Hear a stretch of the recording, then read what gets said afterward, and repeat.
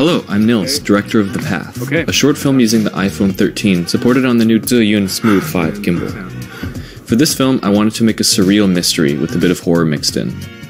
We shot over two days, the first being the smoky hallway scene. This was my first experience with the Smooth 5, and I was excited to try a few different modes on it.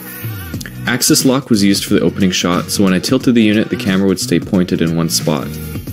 For the insert on the smoke detector, we turned on the POV mode, which was a lot of fun. We also used the ZY Cami app to record, since it was able to give us control of our camera settings. For the second day of the shoot, my brother and I shared the camera role. Together, we decided to try the new cinematic mode of the iPhone, offering a shallow depth of field look. There were a couple limitations to this mode, however. I'll come back to this later.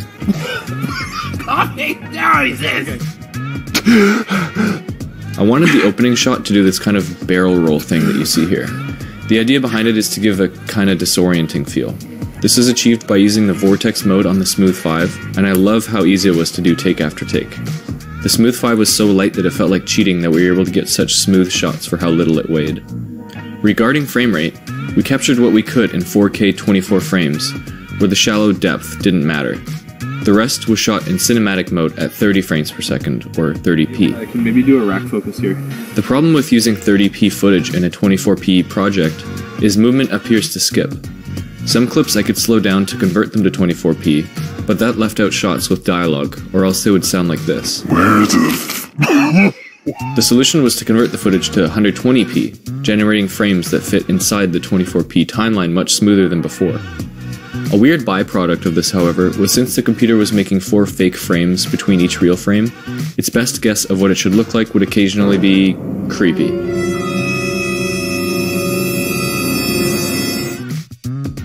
The only VFX shots were for the smoke detector.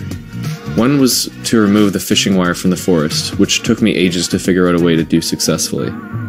And the other was faking the smoke detector light for the interior scene, which was simple but time consuming. Regarding sound design, I used Artlist for the music and sounds, and lots of EQ, reverb, and pitch shift for the on-set sound we captured, plus the monster's voice.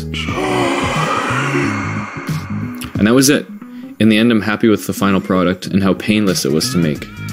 Stripping down and shooting on a phone, coupled with the Smooth 5, was just that smooth. It was so easy to get what we needed and move on, and if we weren't using this setup, I'm doubtful we would have even gotten the shots we needed in the day. The ease of pulling this thing out of the bag and having all these features is something I'm looking forward to bringing on future shoots. I'm curious to hear what kinds of things will the Smooth 5 help you create?